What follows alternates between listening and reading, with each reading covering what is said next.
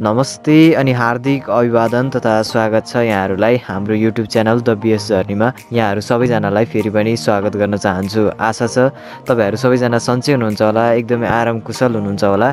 So आज भने धेरै पछाडि तपाईँहरूलाई एउटा नयाँ भिडियो सामग्रीका साथ फेरि पनि हामी उपस्थित भइसकेका छौँ।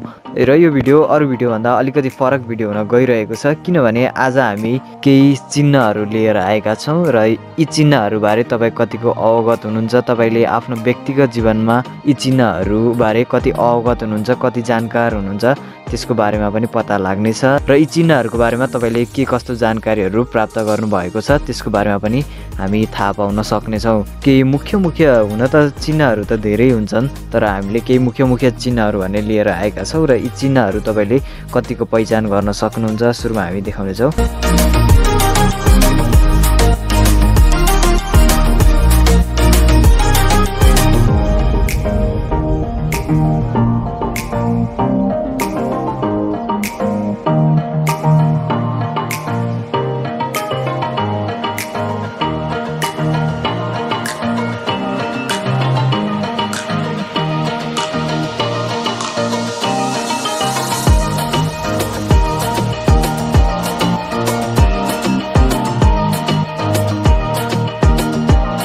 तपाईँलाई हामीले सबैभन्दा सुरुमा चाहिँ ह्यामर र सिकलको चिन्ह देखाएका थियौँ र यो चिन्ह तपाईँले धेरै ठाउँहरू डुल्दा ओर्दा देख्नुभएको होला र यो ह्यामर र सिकलले चाहिँ के डिनोट गर्छ भने तपाईँले के बुझ्नुपर्ने हुन्छ भने कम्युनिजम भनेर बुझ्नुपर्ने हुन्छ। र यो चिन्ह भने चाहिँ रसियन क्रान्ति हुँदाखेरि निस्किएको चिन्ह हो जसको मतलब ह्यामरको मतलब चाहिँ तपाईँले वर्कर्स यानि कामदारहरू भनेर बुझ्नुपर्छ भने सिकलको मतलब भने चाहिँ फार्मर यानि कृषकहरू भनेर बुझ्नुपर्ने हुन्छ। त्यस्तै गरेर हामीले दोस्रो चिन्ह देखाएका थियौँ यहाँहरूलाई। मुटु यानि हार्ट रहेको छ। र यो तपाईँको लागि एकदमै सजिलो भयो र यसले लभ अथवा एफेक्सन भन्ने बुझाउँछ अर्थात् माया प्रेम भन्ने कुरा बुझिन्छ।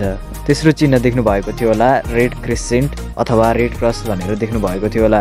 र यो रेड क्रस अथवा रेड क्रेसेन्टको मतलब हुन्छ कुनै पनि अप्ठ्यारो काम पर्दाखेरि एकदम सहयोग गर्ने एउटा सङ्घ संस्थाको रूपमा पनि तपाईँले चिन्न सक्नुहुनेछ। र तपाईँले चौथो नम्बरमा देख्नु भएको थियो होला खोपडी र दुईवटा काटिएका हड्डीहरू। अर्थात् स्कल एन्ड क्रसबोन्स भनेर भन्ने गरिन्छ। र यो चिन्हको मतलब हुन्छ तपाईँले खतरनाक चिजवस्तुहरू बुझाउने गर्दछ। अर्थात् कुनै पनि त्यो कुराहरू प्रयोग गर्न मनाइ भन्ने अर्थमा बुझ्नुपर्ने हुन्छ। त्यस्तै गरेर तपाईँले पाँचौँ नम्बरमा देखाएका थियौँ स्वस्तिक चिन्ह र यो चिन्हबारे तपाईँ अवगत नै हुनुहुन्छ होला। र यसको बारेमा केही भन्नु पर्दाखेरि चाहिँ यो चिन्हलाई भने सौभाग्यको रूपमा प्रयोग गर्ने गरिन्छ। यो सर्वप्रथम युरोपेली मुलुकमा जर्मन नाजी पार्टीले प्रयोग गरेको थियो भने बिस्तारै यो पछि पछि आएर हिन्दू राष्ट्रहरूमा एकदमै चल्न पुगेको थियो। छैटौँ नम्बरमा आएर तपाईँले रुखको चिन्ह देख्नु भएको थियो होला र त्यो भनेको चाहिँ जीवनको रुख भन्ने बुझिन्छ अर्थात् ट्री अफ लाइफ भन्ने सिम्बल हो।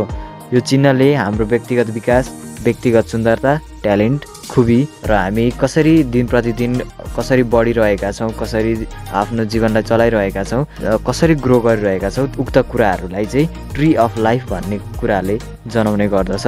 त्यस्तै गरेर तपाईँले अर्को आदि काटिएको चन्द्रमा जस्तो नक्सा देख्नु भएको थियो होला र यो चिन्हलाई भन्ने गरिन्छ क्रिसेन्ट अथवा अर्धचन्द्रकार भनेर नेपालीमा बुझ्न सक्नुहुनेछ।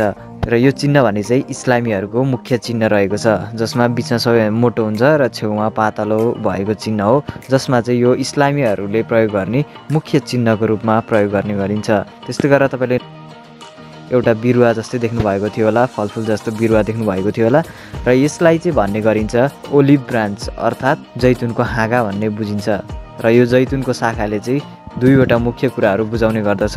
नम्बर एकमा भनेको यसले हामीलाई शान्ति भन्ने बुझाउँछ भने दोस्रो भने चाहिँ ख्याति अथवा कसैको राम्रो भलाइपनको बारेमा देखाउने गर्दछ।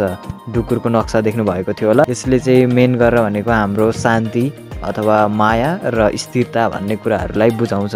त्यस्तै गरेर तपाईँले अर्को देख्नु भएको थियो पुतली चिन्ह र यसमा भने चाहिँ तपाईँले पुनर्जन्म सुन्दरता र परिवर्तन भनेर बुझ्न सक्नुहुन्छ। र तपाईँलाई अन्त्यमा देखाइएको नक्सा चाहिँ सिंहको थियो र सिंह भनेको तपाईँले यो बुझ्नुपर्ने हुन्छ निडरता बहादुरिता नेतृत्व र सुख सहल भनेर बुझ्न सक्नुहुन्छ। र यसरी तपाईँले दिन प्रतिदिन आफ्नो जीवनमा प्रयोग गर्नुभएका र देख्नुभएका यी चिन्हहरूको बारेमा कति अवगत हुनुहुन्थ्यो र तपाईँले कतिसम्म मिलाउन सक्नुभयो तल कमेन्ट सेक्सनमा अवश्य पनि लेख्नुहोला र यो आजको जानकारी तपाईँको लागि कतिको उपयोगी रह्यो त्यो पनि कमेन्ट सेक्सनमा अवश्य पनि लेख्नुहोला। फेरि पनि अर्को नयाँ भिडियो सामग्रीका साथ हामी फेरि पनि भेट हुने नै छौँ। आजको लागि भने बिदा दिनुहोस्। नमस्कार।